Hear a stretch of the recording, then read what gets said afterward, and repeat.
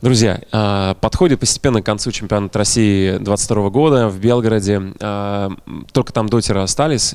Пришел победитель, победитель а, в дисциплине НХЛ. К сожалению, не знаю, какой год. НХЛ наверняка так же, как и FIFA. Каждый год? Да. Да, каждый год выпускается, так же, как FIFA параллельно просто идут по годам. 22 НХЛ сразу вот первое, что а, ассоциация, это, это штамповка, это какие-то там косяки, может быть, в, в продакшене или, или все, качественный продукт тебя устраивается? Нет, это не качественный продукт, это просто штамповка, как и FIFA сама, то есть э, меняется только движок, а суть игры остается mm-hmm. одна и та же. То есть э, мы ждали много лет, чтобы mm-hmm. нас пересадили на Next Gen, и только в этой части, хотя FIFA уже там с, с части 19, я не помню, играет, а нас только в этой части пересадили, а FIFA уже планируют на новый движок пересаживать. То есть мы так отстаем от FIFA по движку на года 3, на 4 там, ну, и недоработанная игра, очень много багов, э, вылетов, и ее просто хейтят многие, тоже европейские игроки и американские. Слушай, а по механике наверняка же есть баги, которые влияют непосредственно на геймплей. Там фишки, абузы какие-то. Помню, там э, рассказывали футболисты, когда на ВЦГ еще ездили, вот с Алексом, про которого рассказывал. Там был Pro Evolution Soccer, э, очень хороший, но без денег. Но физ-модель была классная. И была FIFA, которая вот этой стратегии придерживается каждый год, выпуская одну и ту же игру, не успевая ее разрабатывать, но как бы сроки горят, все дела. Вот. И он говорил, что в каждой версии почти игрокам удавалось удавалось профессиональным игрокам удавалось находить такие темы, типа э, определенные передачи, навесы, которые не контрились. То есть, если ты сделаешь правильную последовательность действий, э, то противнику почти не остается ничего. Есть такое в НХЛ? А, был 21 такой НХЛ, 20 когда был старый движок, и, соответственно, ты мог давать э, пас сквозь ноги просто игроку. То есть нужно было сильно зажать пас, и пас проходит в этой части, потому что Next Gen уже, и, конечно, пофиксили эту всю тему уже тяжелее стало пользоваться багами. Ну, есть пару багов, которые используются, но их все знают. То есть был баг очень серьезный, когда можно было заехать за ворота просто при определенной позиции, бросить шайбу за воротами, она закатывается от головы вратаря в ворота. И, и пофиксили яшники наконец-то. Через месяц, наверное, не пофиксили, и все. Так, баги есть, да. Почему ты выбрал спортивный симулятор, почему НХЛ?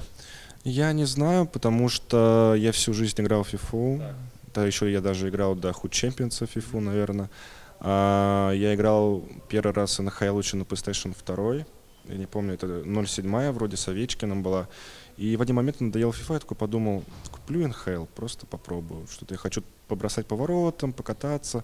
И купил игру, через три дня меня уже позвали в команду 6 на 6 темплей. Я не знаю, как это произошло, я сам не знаю. И после этого пошел уже у меня какой-то рост. Я мало играл, потому что учеба, тренировки. И потом, когда у меня все закончилось, я начал активно уже играть в худ, э, играл в Лиге Про, э, выиграл Кибермос, выиграл чемпионат России сейчас, много раз выиграл 6 на 6 чемпионата России. То есть, в принципе, думаю, получилось достичь каких-то определенных у меня целей и так далее. Про тренировки расскажи. Где тренировался? Что, что, трени... что за тренировки? А, я тренировался последний год выпускной, это Чертанова. Mm-hmm. Я тренировался. Да, потом э, нас выпустили, я ушел в молодежку Чертанову, да. Ушел в молодежку Чертанову, поиграл там, посидел, поиграл по-разному. А, посидел год, и потом уже новое поколение пришло. Это нулевые года там ребята и 01 год. И, соответственно, попросили уже чуть-чуть уйти. Я пошел уже дальше по третьим лигам скитаться. И в третьей лиге играл года два, наверное, три. И потом травма, еще одна травма, травма, травма, и все. И я тут. Вот как хорошо, что есть киберспорт, да? Какие качества из э, классических, э, ну, понятное дело, что там тренер, тренировочный процесс, какие-то там нагрузки, системы, что-то ты пере, перенял э, в... Не сдаваться, играть до конца, бороться. То есть даже сегодня я проигрывал 2-0. У меня часто такое бывает в сериях, это БО5, когда я могу 2-0 проигрывать. Не знаю почему, то ли у меня нет мотивации, то ли я считаю соперника слабым, потому что я его на групповой стадии там без шансов. Э, и потом, когда я уже начинаю включаться, сам на себя злюсь и хочу просто доказать самому себе. Наверное, не сдаваться, э, упорство и много тренировок, наверное, вот это самое главное, что передалось мне. Хорошо. Планы на будущее. Ты э, планируешь э, с киберспортом или у тебя параллельно какие-то есть вещи? Ну, типа там учеба, работа или еще что-то? Да, я учусь, работаю, но мне хватает времени играть еще. То есть я играю в большей степени 6 на 6. То есть перед чемпионатом России я потренировался два дня. То есть я не играл целый год почти, ну, с самого выхода я поиграл два месяца, и потом 4 месяца я просто не играл, потому что работа, устаешь, ты приходишь потом 6 на 6 играешь вечером, и у тебя уже сил не хватает. А когда э, меня в Ульяновскую область, я вышел от них, да, на чемпионат России, я уже начал там пару дней потренировался, и все. То есть даже вот когда мы приехали первый день сюда, я один матч сыграл и больше не играл тут. Это говорит о том, что игроков не так много. Что там по сцене в России? Сколько игроков? Э, сколько там потенциальных там, конкурентов? Нет, игроки очень хорошие есть на самом деле, потому что на моем пути попадались э, серебря, серебряный призер чемпионата России Сергей, я его выиграл. Потом попался в полуфинале чемпиону Труханов, я его выиграл. И вот парень, который год всего играет, почти меня выиграл уже, как-то почти чемпионом России стал. То есть сцена хорошая, она плотная, есть, но большинство игроков играют в Лиге Про, и, соответственно, они не могут, возможно, играть в других турнирах э, под эгидами других организаций. А-а-а. То есть все-таки контракты, и они не могут играть, возможно. Так, ребята есть хорошие, я думал, ребята будут играть, но не получилось, к сожалению. Я жду их в следующем году уже. Насколько я понимаю, вместе с чемпионством тебе дают еще звание кандидата в мастера спорта. Серьезно? Я слышал от Дмитрия Смита, что теперь ты КМС. Я хотел КМС выполнить по футболу, выполнил по НХЛ в итоге. Не, ну круто, что я получу книжечку, потом буду где-то внукам рассказывать, что я КМС. Они такие, у тебя есть разряд? Да, КМС по, по хоккею. А по какому уже не важно. Не, почему? Э, слушай, через 20-30 лет, возможно, ты будешь с гордостью вообще и рассказывать всем внукам, там, и не только внукам, и всем, кого встретишь мелким щеглам, о том, это сейчас ты киваешь, потом будешь хвастаться. А, действительно, я, ну, там, там уже много людей написало, типа, говорили, что, ну что, легко, изи получилось. Я говорю, да, изи получилось. Не, поддерживали ребята, круто было. Атмосфера, конечно, прикольная, очень, очень прикольно. Первый такой опыт у меня. А, ты не был на предыдущем? Я не был на предыдущей, потому что я играл в Лигу Про, и у нас ребята отбирались на чемпионат России, и я не мог просто играть, потому что нужно было в Лиге Про играть. И просто я не смог. Ну, я бы, думаю, я тоже вышел бы на лан и выиграл бы, я думаю. Потому что у меня там был как раз-таки пик. Самая моя лучшая игра, это 21 часть.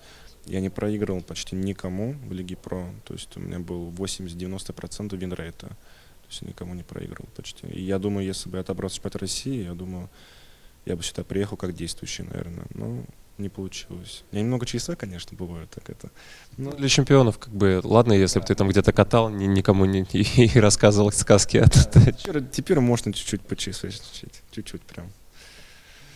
Ну вот смотри, дотку показывает. Ты не смотрел на другие дисциплины? А, я смотрел, я поигрываю в кс да, но чтобы там плотно как-то заниматься, ею нужно уделять очень много времени, столько времени нету просто. А Дота тоже прикольная игра, мы с другом играем иногда, но я играю там очень редко, там два часа в полгода, не знаю, вот я так могу сыграть. А так, конечно, Dota это круто. Все-таки э, э, International э, собирает такие призовые, и ребята, когда наши спириты выиграли, мы смотрели с другом, то есть очень рады были. То есть у них там, конечно, все серьезно, с призовыми все серьезно. Ну и, конечно, охват у них намного больше, чем у NHL. NHL это такая игра завязана на пинге, и то есть э, очень тяжело играть даже с какими-то игроками из Европы, mm-hmm. потому что средний пинг из Москвы 25-30, а у европейцев 7. 10, соответственно, уже идет э, преимущество у другого соперника. А в доте, в принципе, я думаю, там даже пинг не нужен. Да, не нужен. Там мозги нужны.